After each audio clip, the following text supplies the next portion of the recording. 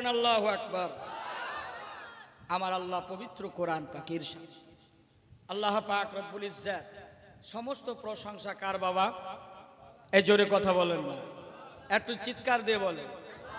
কার? আল্লাহ। সমস্ত প্রশংসা কার?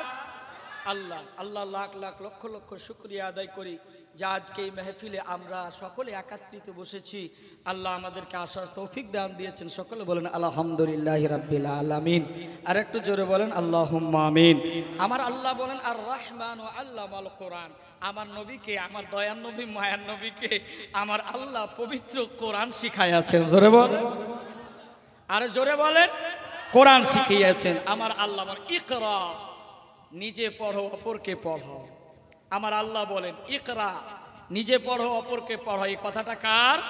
আমার আল্লাহ। জোরে চিৎকার দা বলেন, আল্লাহ। আমার আল্লাহ বলছেন, কোরআনের শিক্ষা, যদি জঙ্গলে পড়ো, চাহে দোকানে পড়ো, চাহে মাঠে পড়ো, চাহে ঘাটে পড়ো, চাহে মসজিদে পড়ো, যেখানে বান্দারে যদি পড়তে না পারো, তাহলে কোরআনের হরে উপরে উপরে উংলি ফিরিয়ে দাও।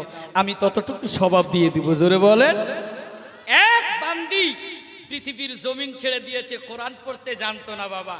কিন্তু কোরআনকে এতটা ভালোবাসতো, কোরআনের সাথে এতটা মোহাব্বাত, কিন্তু কোরআন পড়তে জানতো না।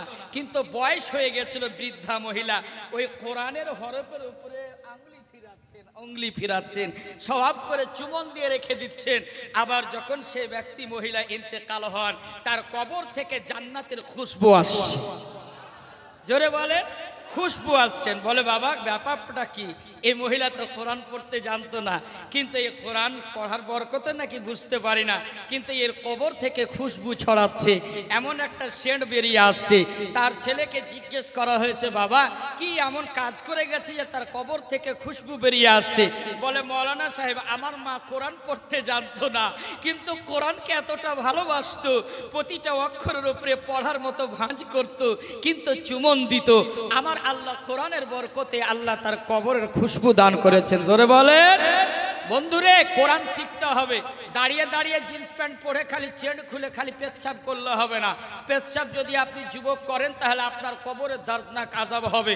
তাহলে শুনে আল্লাহ বলেন আল্লাহ বলেন, ওয়া ইযা কুরিয়াল কুরআনু ফাসতামিউ লাহু ওয়া আনসিতুকুম লাআল্লাকুম তুরহামুন। আমার আল্লাহ বলে, কোরআন যদি পড়তে না জানো কোরআন পড়ার চাইতে যে কোরআন শুনবে, তার বেশি স্বভাব। জোরে বলে আপনি বলবেন, মুফতি সাহেব, এটা কি করা হয়? আমি জানি কোরআন পড়তে, আর যে কোরআন পড়তে জানে না, ও যদি শুনে, তাহলে ও আমার থেকে নেকি কি করে পায়? শোনেন, আপনাকে বলে দিই। হ্যাঁ যে ব্যক্তি কোরআন পড়তে জানে না তার ওই ব্যক্তির স্বভাব বেশি হবে। কেন জানেন? যে কোরআন পড়তে জানে, অজু করে কোরআন পড়ে, হয়তো দিলের মধ্যে, হয়তো মনে একটা অহংকার হতে পারে। অহংকার হতে পারে। কিন্তু যে কোরআন পড়তে জানে না, অজু করে যদি সে সোনার নিয়াতে বসে, তো বেশি নাকি হবে। জোরে বল। তাহলে মহানা সাহেব কোরআন পড়ে কি হবে? তাহলে শোনার নিয়ত করে যাব। না, আমার আল্লাহ বলেন ভাই তুরহামুন। আমার আল্লাহ বলেন, যখন মসজিদের ইমাম, কোন হাফিজ সাহেব, কোন কারি সাহেব যখন কোরআন পবিত্র কোরআন তেলাওয়াত করবে, বান্দারে, মনোযোগ দিয়ে, গভীর যোগ দিয়ে তোমরা কোরআন শুনে নাও। আমি আল্লাহ লাআল্লাকুম তুরহামুন। আমি আল্লাহ তোমার প্রতি রহমত বর্ষণ করব। জোরে বলেন।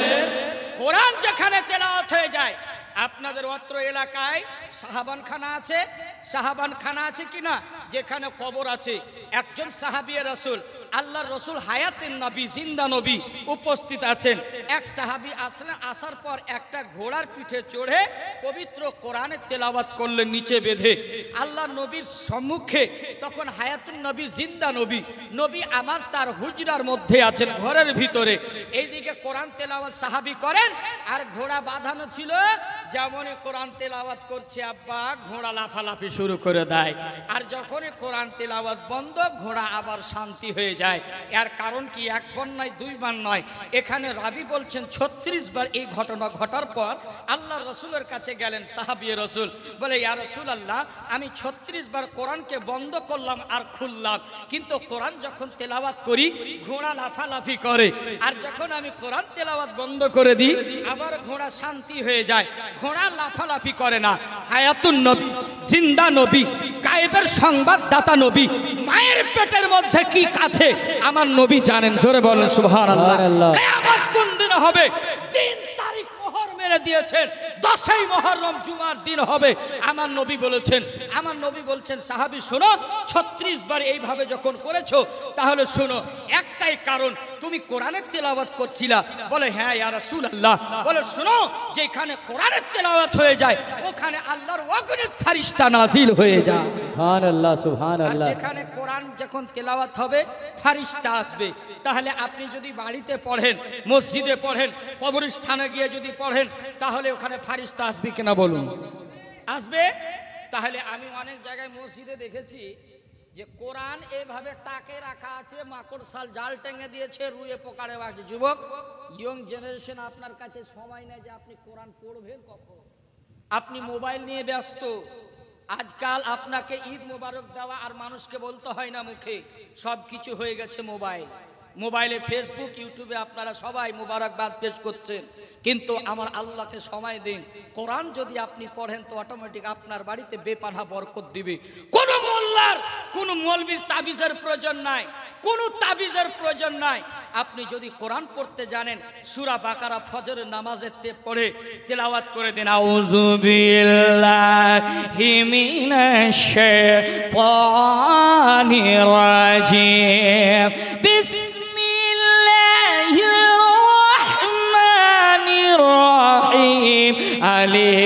লাম মিম যালিকাল কিতাবু লা রাইবা ফিহ ফজরে তেলাওয়াত করার পর কোরআন পাকে তেলাওয়াত করেন এমনই একটি সূরা আছে যে নাম সূরা ইয়াসিন আল্লাহ ঘোষণা দিয়েছেন। ওই সূরাটা যদি আপনি পড়েন, তার মধ্যে দুইটি বেনিফিট আছে, দুইটা লাভবান আপনি উঠাতে পারেন। সূরা ইয়াসিনের তেলাওয়াত আপনার যদি কোনো দুশ্মনে ধাওয়া করে, আপনার যদি কোনো দুশ্মন থাকে, আপনার সম্মুখীন দুশ্মনের হয়েছেন, আপনি সুরাই আসিনে তেলাওয়াত করেন। আউযু বিল্লাহি মিনাশ রাজিম, বিসমিল্লাহির রহমানির রহিম। ইয়াসিন। والقرآن الحكيم. إنك لمن المرسلين على صراط مستقيم. تنزيل العزيز الرحيم. لتنزل قوما ما أنزل أباؤهم فهم غافلون. لقد حق القول على أكثرهم فهم لا يؤمنون. إن جعلنا في أعناقهم أغلالا فهي إلى الأذقان فهم مقمهون أبن سورة ياسر ওগো জীবন ভাইরা ইউ জেনারেশন যুবক ভাইরা, আপনি যদি পবিত্র কোরআনে তেলাওয়াত করেন, এই সূরা ইয়াসিন পড়লেন, এক মুঠ বালু উঠালেন মাটি, আপনি দুশ্মনের উপরে ছড়িয়ে দেন, আপনার দুশ্মনের চোখ মুখ কানা হয়ে যাবে, আপনি পথ দিয়ে চলে যাবেন। আর একটা বেনিফিট হচ্ছে কি? সূরা ইয়াসিনের তেলাওয়াত আল্লাহর নবীজি, দয়ার নবী, মায়ার নবী গো। আমার নবী বলতেছেন, এ বান্দারা, আমার বান্দারা, ও আমার উম্মতেরা, যদি সুরাই আসিনে তেলাওয়াত করো, যেদিন ফজরের নামাজ পড়ে, যদি সুরাই আসিনে তেলাওয়াত করো, এত সুন্দরভাবে আল্লাহ রাসূল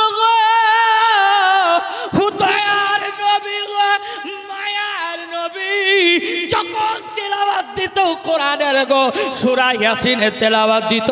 জঙ্গলের পশু পাখিরা নবীর কোরআন শোনার জন্য যেন দৌড় মেরে আসতো। আমার নবীর কোরআন তেলাওয়াত শোনার জন্য পাখিরা উড়া দিয়ে দিত। আর একটু মহাব্বতে বলুন না সুবহান আল্লাহ আর একটু কোরআনের মহাব্বতে বলুন ইয়া রাসূলুল্লাহ। নবীজি যখন কোরআনের তেলাওয়াত দিত মধুমাখা তেলাওয়াত। যেন বনের পশু পাখিরা বসে বসে যখন কোরআন শুনত রে যেন পশুদের চোখ দিয়ে টস টস করে জমিনে জল পড়ে যেত। এতটা কোরআন রে, এত সুন্দর মুখবানা এত সুন্দর কোরআন। এই কোরআন আপনার যদি সুরাই আসিনে তেলাওয়াত করেন, আমার নবীজি দয়ার নবী, মায়ার নবী বলতেছেন, আমার উম্মতেরা রে, কোনো অসুবিধা হবে না। তোমাদের লাভবানের জন্য একটা সুরাই আসেন। আমার আল্লাহ পবিত্র কোরআনে দান করেছেন। এই কোরআনের তিলাওয়াত যদি সুরাই আসের পড়ো ফজরের নামাজ পড়িয়া, দুই রাখাত ফরজ পড়লা দুই রাখাত সুন্নাত পড়িয়া কেবলার দিকে আমাকে সালাম করে দাও। আমি নবীজি, সালাম তার শুনেনি। সালাম দেওয়ার পর পবিত্র কোরআন নিয়ে বসে যাও। একটু সুরাই আসিনে তেলাওয়াত দাও। আমার নবীজি বলছেন ইয়ার বেনিফিট কি? আমার নবীকে জিজ্ঞেস করা হয়েছিল, এর লাভ কি হবে? আল্লাহর নবী বলতেছেন, সাহাবারা, শুনো, এর লাভ একটাই যেই দিন তুমি মারা যাবা গো। যেই দিন তোমার মালিকুল মত রুহটা কবজ করবে যেই দিন তোমার আত্মাটা বের করবে এমন ভাবে বের করবে যেই রকম শিশু বাচ্চা দুধ পান করতে করতে ঘুমায়া যা। সুবহান আল্লাহ সুবহান আল্লাহ আল্লাহ মহাব্বতে একবার কি প্রাণ খুলে বলা যাবে না? সুবহান বলে, আল্লাহ কি আপনাদের অসুবিধা হচ্ছে? একটু জোরে কথা বলেন না। একটু জোরে কথা বলেন। ওয়াজ ছেড়ে দেব? ছেড়ে দেব। আচ্ছা হাত উঠান কারা কারা বলছেন ছেড়ে দেন। আচ্ছা কখনো কখনো মিস্টেক হয়ে যায়। মহব্বতে বলেন সুবাহান আল্লাহ তাহলে সুরাই ইয়াসিনের দুটো লাভ। সুরাই ইয়াসিন যেই কোরআন পড়লে মনটা শান্তি হয়ে যায় রে যুব মোবাইল নিয়ে শান্তি আসবে না। মলবির কাছে তাবিজ নিয়ে আসলে শান্তি হবে না। মলবির কাছে জল পড়া নিয়ে আসলে শান্তি পেয়ে যাবে না। আমার মা বোনেরা হয়তো শুনতেছে ও আমার মা বোনেরা, তোমাদেরকে বিনতি করে বলে যায়, কোনো মলবির কাছে আর লাইন লাগাতে হবে না। সুরাই ইয়াসিনের তেলাওয়াত করো, তারপরে তোমার সন্তানকে তুমি দুধ পান করাও। আয়তাল কুরসি পড়ো লা ইলাহা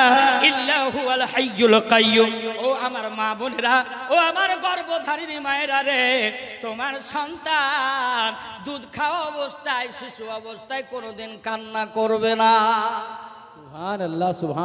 ইয়াসিনের দুটো ফজিলত পাওয়া গেল। এক নম্বর, যদি দুশ্মন ধাওয়া করে তেলাওয়াত করলেন, এইভাবে মাটি দিলেন বা পাথর বা নিয়ে ছুঁড়ে দেন। ছুঁড়ে দেওয়ার পর চোখ মুখ কানা হয়ে যাবে, আপনি বের হয়ে যাবেন।